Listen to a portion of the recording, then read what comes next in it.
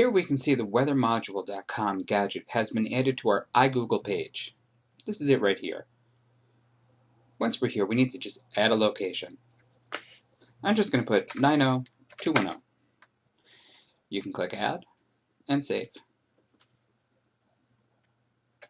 And there you have it. It's been added. Changing or adding a location in the gadget is simply done by going to the settings of the gadget itself. And we get there by hovering over the title bar and clicking on this little drop down and going to edit settings. It is very similar in Internet Explorer as with Netscape, uh, Google Chrome, any one of your browsers, but they may appear, appear just a little bit different. So here we can see uh, in Internet Explorer, uh, it's not showing the correct thing, but it is there. So here we'll just click Edit Settings.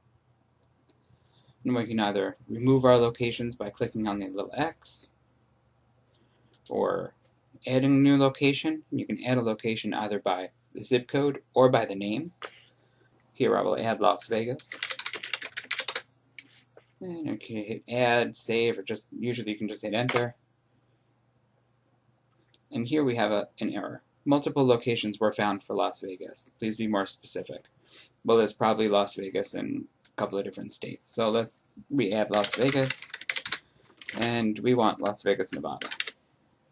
So we'll just add that. Click Save, and it was found.